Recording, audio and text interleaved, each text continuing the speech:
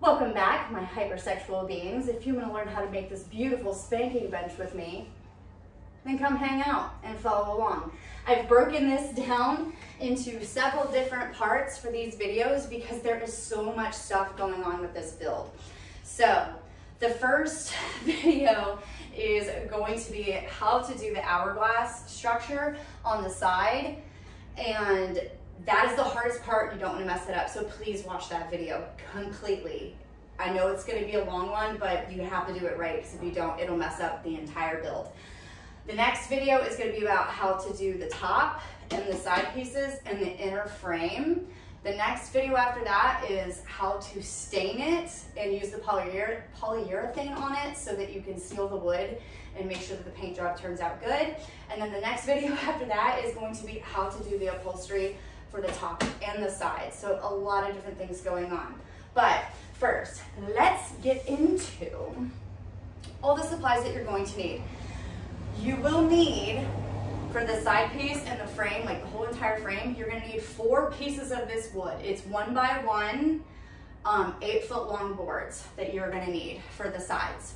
You will also need three fourths inch, three fourths of an inch thick plywood and you can get pre-cut plywood that's two by two by four feet pieces so that you don't have to have them like cut you like a really big piece.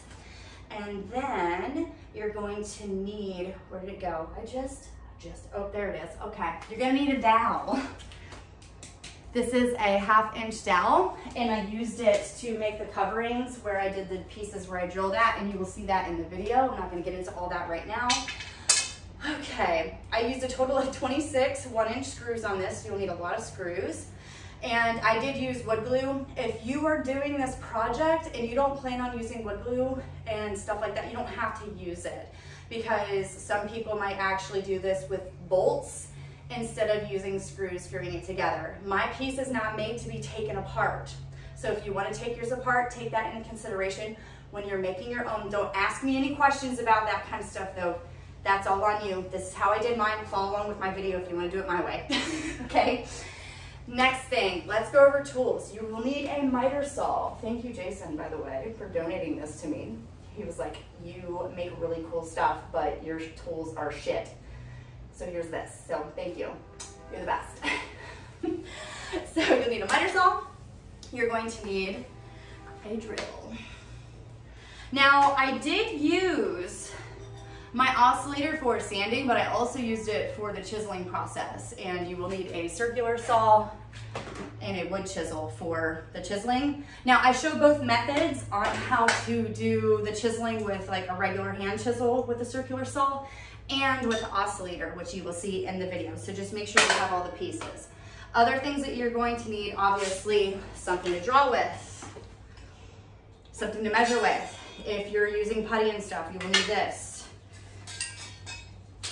Um, same thing, need something to draw with. You will need a rubber mallet because you want these joints to be really, really solid and tight. So you might have to like mallet some stuff into place. A level, and you will need probably four of these wood clamps. Let me make sure I got to everything. I have a note board down here. Um, circular saw. You could use a table saw when you're cutting the top pieces. And yes, I already said measuring tape and all of that. Now when it does come down to the bottom, I put something a little fancy on here.